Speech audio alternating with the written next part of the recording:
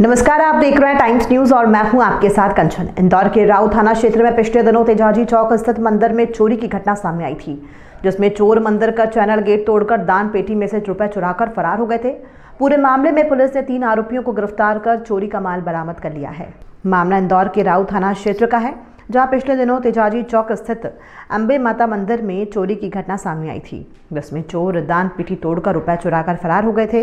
पूरे मामले में पुलिस ने सीसीटीवी फुटेज के आधार पर तीन आरोपियों को गिरफ़्तार किया है, जिनके पास से चोरी के रुपए पुलिस ने बरामद कर लिए हैं। पकड़े गए आरोपियों पर पुलिस वैधानिक कार्रवाई कर रही है। ये दिनांक 10 तारीख को रात में अम्बे माता मंदिर के पास में एक मंदिर में आरोपियों द्वारा चोरी चोरी की गई थी। पुलिस द्वारा फुटेज कैम, कैमरा फुटेज और मुखबिरी के द्वारा तीन आरोपियों को पता लगाया गया है। तीनों को गिरफ़्तार किया गया है।